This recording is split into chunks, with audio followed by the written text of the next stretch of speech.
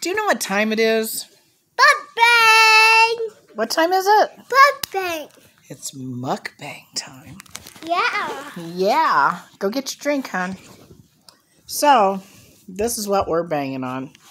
I'll tell you something. The pumpkin spice came and went. It did in Nevada anyway, so. But I have left over a pumpkin spice bagel or bagel. How do you say it? Bagel, bagel? I say bagel, but some people say bagel. bang! Yes, we're mukbanging. Hey, And- bang! I like go shopping. She wants to go shopping. Tomorrow we're going to shopping. Anyway, so this is what we have. I have a, a sausage patty, a pre-cooked sausage patty from Walmart, some Swiss cheese, and some butter. I want on my my bagel. bagel. She wants to buy a baby doll. When she says baby doll, she means a Barbie doll. I say bagel. Oh, okay. Anyway, so yes, I already took a bite of it. It's pretty good. I like homemade um McDonald's. McDonald's. I had to take these off. I like go shopping now. No, we're not gonna go shopping now. I will show you this. Oh my god. So Vlogtober got totally screwed up. I'll tell you why. Okay, so peop you guys that's been with me for a while. You know who Grandma Dot Dot is. Grandma Dot Dot is Sick. sick. Grandma Dot Dot sick. She's um she came out here the seventeenth Doctor. from Ohio. And Okay, doctor. hold on, let me tell. Okay. And she rode the train out here from Ohio because she's scared of airplanes, which you know a lot of people are scared of airplanes. Plus she's so big, we'd have to buy two tickets for her. So it's more better just to I have the want um. to go chicken mouse. All right, honey. Chuck E. Cheese. Something. Chuck E. Cheese for your birthday, yeah. So anyway, she came out here and everything was cool. And then by the twenty the twentieth or twenty first she said she was sick. She said she had a sore throat. She had a runny nose. Her ears hurt. And we've been sick all month long, haven't we? Yeah, I got a clean shot. And we have uh, three little ones. It seemed like every stop, honey, stop, stop. Every Thursday, every week, for about three weeks. Stop, Francine, please. We've been going, taking these kids to the doctor. First it was earache. And then it was RSVP or some shit like that. I don't know what they call it, but it was bronchitis stuff. And then we had another earache from another kid. One would get on the mend, then the next week another one would get sick. They're just spreading the love. Well, the two little bubbas, little boys, the one named Jesse, Yeah. he, he steals little bu- little Bubba's drinks and he runs off. So they're sharing the love, passing this back and forth. This dirty too. sippy cups. We're fine. We're fine. and he's too. fast too. He'll, he'll go yoink and run, and it'll be in his mouth. So anyway, that's how those two got sick. They're sharing the stuff. But anyway, back to the grandma dot dot. Just wanted to let you know that the kids were sick, and they got tested for the coronavirus each time. Just because That's what they do here in our county. If you if you have any kind of flu, cold like symptoms, they test you for the corona.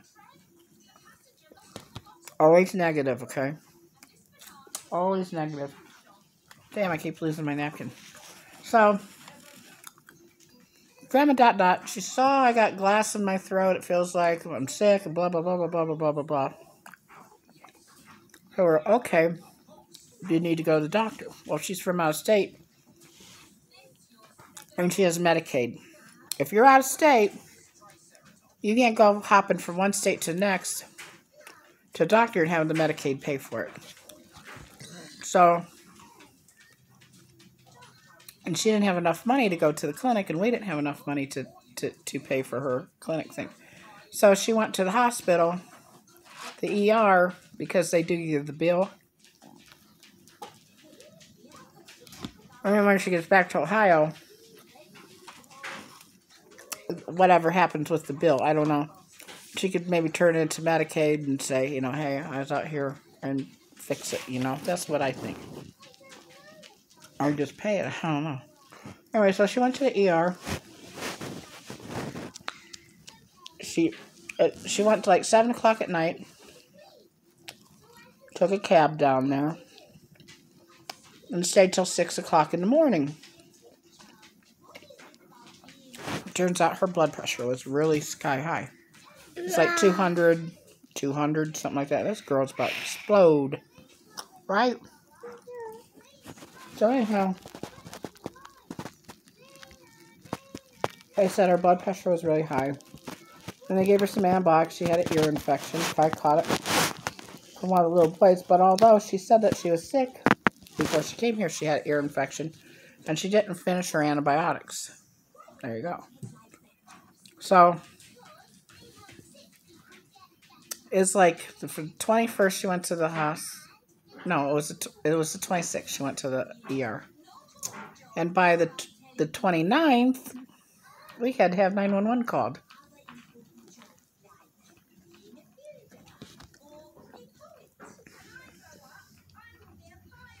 She was sleeping in the one room next to baby's mama and my big son. And I heard a big thunk in the middle of the night. Huge thunk. And they thought it was one of the boys in the boys' room hopping out of their baby beds, tearing the room up. Turns out the boys were fast asleep. They knew it didn't come from my room because I live at the whole, whole opposite end of the house. I have an 830 something square foot manufactured home. So I'm a good long way, so it wasn't coming from my room, and we were all sleeping anyway because of me, because that's my roommate and my dog, Roxy. We were sleeping. So, they went to check on, baby's mom went to go check on her mom, which is Grandma Dot Dot. And she was sitting up in the bed, and she's saying, open, open, and then she'd say no. And they're like, are you okay? Or she wouldn't respond. She just kept saying open, open. So because she has a pacemaker, she had blood clots in her lungs. And she takes, I don't know, there must be like 25, 50 pill bottles in her medicine bag. I don't know what she takes and what she don't take, but she takes a considerable amount of pills. And plus, she's very obese, almost 400 pounds. Anyway, so they called the ambulance to find out, you know, take her down to the hospital, find out she had a stroke. This was on a Monday morning, like in the middle of the night type of thing. And by Monday, about 8 o'clock, 9 o'clock in the morning, the hospital called baby's mama and said, Hey, we're admitting Grandma Dot Dot. Oh, what's wrong with her? Well, her blood pressure's really up, and something else. I forget what else they said. Oh, and she couldn't breathe. so her oxygen level was really low. So they put her on a ventilator. Because the oxygen, you know, the little things that they put to the nose wasn't working. So they actually intubated her, put her on a vent. So a couple days later, or the next day, I my time frames are really bad. Mommy, got my cookies. They told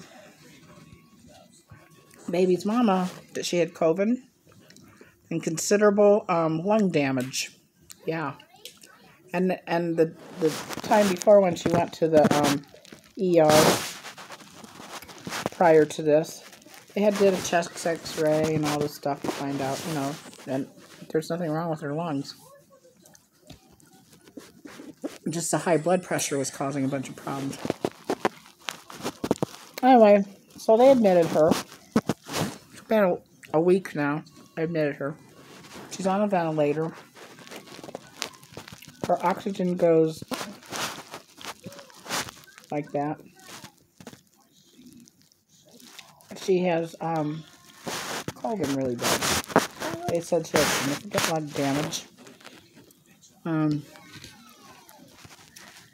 and they were really concerned about her because she was like sleeping and well they gave her sleeping medicine because when they intubate you you know put the thing down your throat it's easier to for a person to handle that so they had her sleeping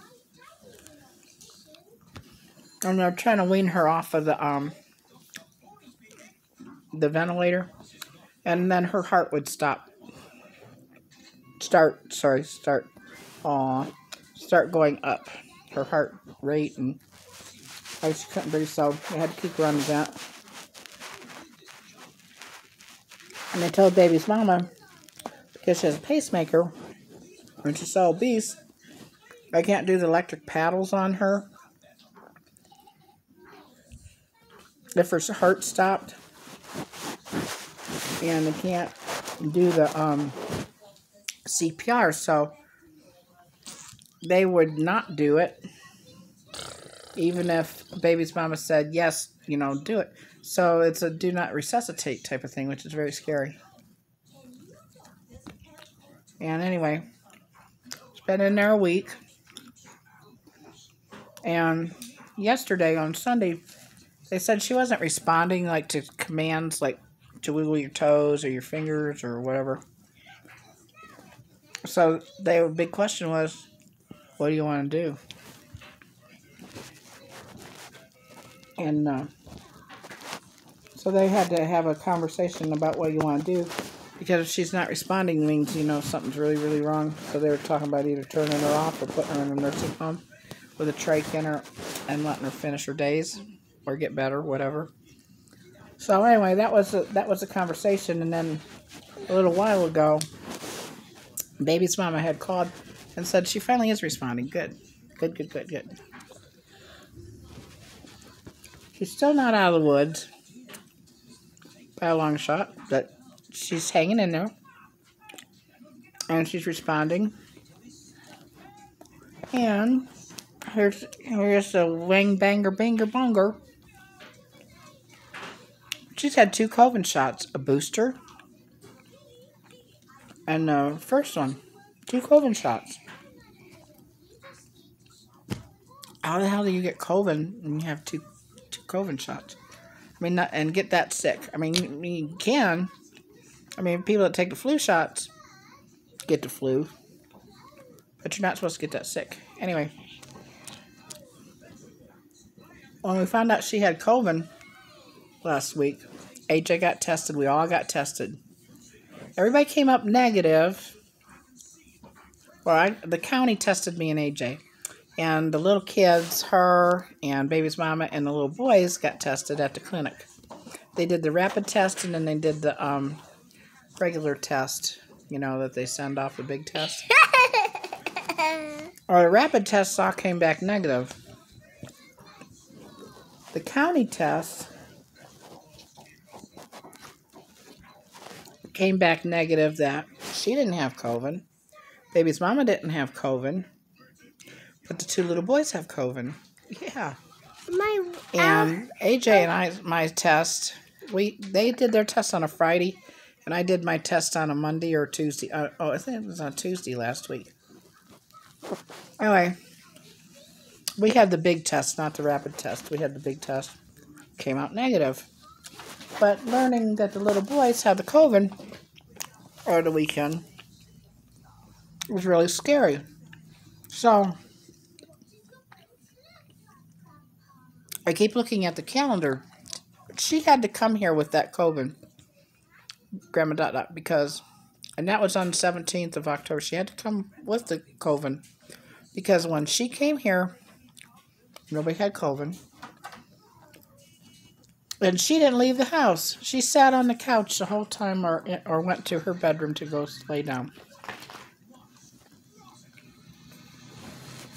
Bubba and Mountain Dew. So tell me, she had to come with the COVID. And because I've been exposed to it since the 17th of October, and they say I don't have COVID. I've never taken the shot. And I'm not going to because I'm not going to put an experimental drug in my body. It just doesn't make any sense to me. You know, that's, I mean, that's your choice. Your choice. You do what you need to do, but my opinion for myself is I don't even take a flu shot. But from the 20th or the 18th, I start developing cough. And it's because we have the heater on. The heater's dry and everything. This is this is another reason why I chose to, to get the um, COVID test. Because I've been exposed to it that long. And I think it was the first or the second. The first or second when I got so from the 17th to the 1st, and I don't have COVID by then, I really doubt that I'm going to get it. But if I have symptoms, you know, like new symptoms that pop up other than the cough, but everybody's coughing in my house because the heater's dry and we live in the desert. So